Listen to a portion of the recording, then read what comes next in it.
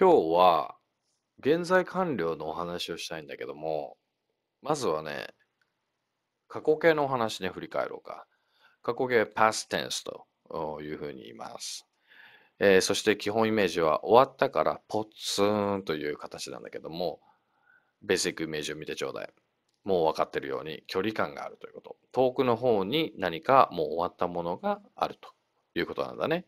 例文見てみよう。え例文では、It was rainy yesterday. It was rainy yesterday. It was の It was は弱く読んでください。rainy yesterday 強く読んでくださいね。さてと、過去には雨が降っていました。朝ちゃんと思ってたから濡れないね。うん。で、一方で、現在となると、まあ、曇ってるか晴れてるかはわからないけども、傘は必要ないでしょうね。はい。こんな関係です。過去形は分かったよね。距離感もある現在と。さて、現在完了のお話をしましょう。現在完了はね、present perfect という言い方です。have プラス過去分詞が必要になってきます。過去分詞というのは形容詞的要素なんだけど、動詞をね、過去分詞化することによって形容詞的表現です。また後で、えー、お話します。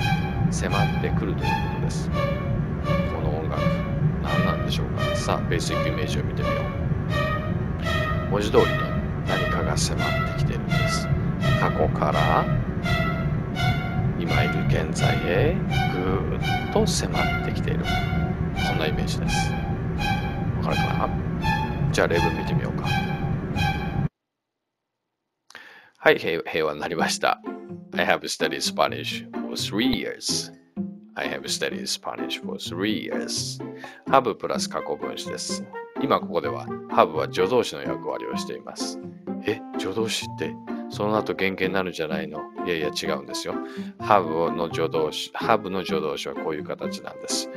さあ、で、3年間スパニッシュを勉強しているということなので、過去からずっと勉強してきてます。で、さっきのイメージ。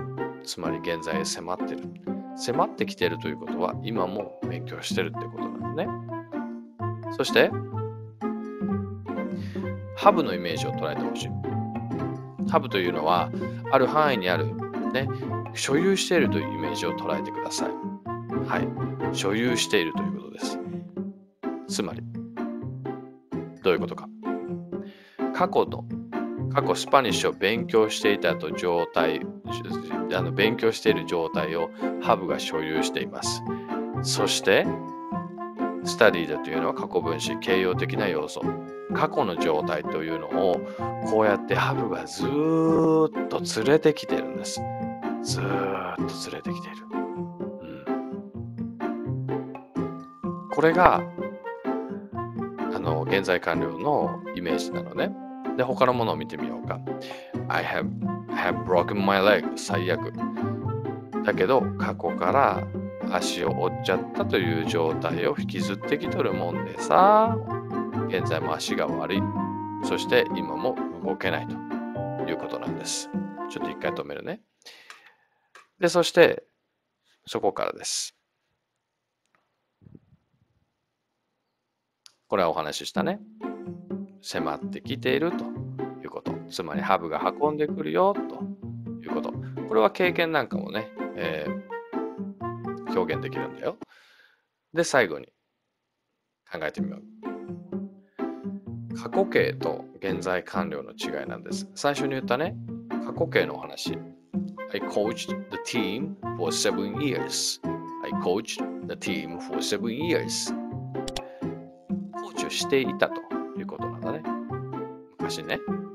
ということは、もう今はしてない。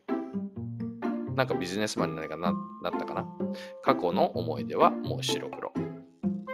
一方でした。I've coached a team for seven years. I've coached a team for seven years. コーチをしているという状態がハブの要素を受けてずっとコーチとコーチの状態が続いてきています。つまり、今もコーチをしているっていうことなんです。だからね、過去形と完了形って大きくイメージが違うからね。似たようなものだというふうに捉えずに使ってちょうだい。えー、今度はね、またあ過去か現在完了のね、お話をもっと詳しくやっていきたいと思います。今日は基本の知識でした。Alright, everybody. Talk to you later.